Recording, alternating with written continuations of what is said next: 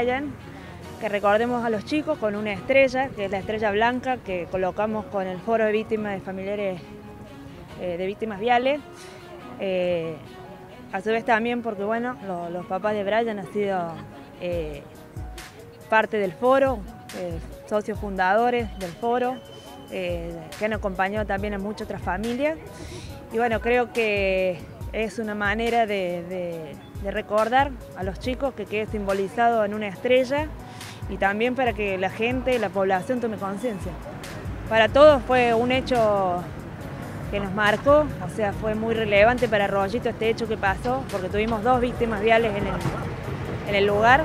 Eh, y bueno, si bien el desenlace no fue el, esperado cuando fue el juicio, porque la persona no tuvo la condena efectiva como se esperaba, como se, peleó, se luchó, eh, quedó inhabilitado para conducir y cumplir tareas comunitarias.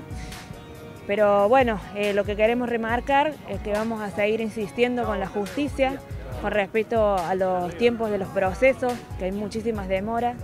Si bien el sistema judicial está colapsado, eh, tratar de buscar la manera de que esto cambie, porque bueno, para quienes son padres y pierden un hijo, eh, es injusto muchas veces tener a la persona responsable libre, impune, o que no tenga la condena que realmente se merece.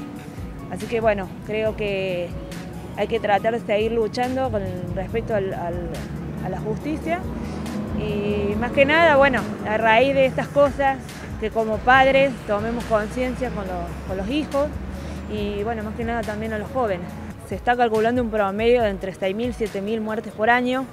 Eh, yo en una nota, o sea, dije que según el Observatorio Nacional Vial, eh, se están tirando cifras que se pierden entre 175 mil millones de pesos en la salud pública debido a las atenciones en hospitales.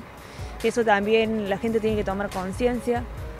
Y bueno, eh, hay que hacer eh, también muchos cambios en, cuanto a la, salud, en el nivel salud, eh, concientización, prevención, todo lo que tenga que ver con el Estado. Quiero agradecer a la, familia de los chicos, que fue iniciativa de ellos, colocar la estrella y bueno, como, como foro queríamos cumplir este pedido y bueno, que la, que la gente no se olvide de esto que pasó y que ojalá no tengamos que seguir lamentando más hechos como este.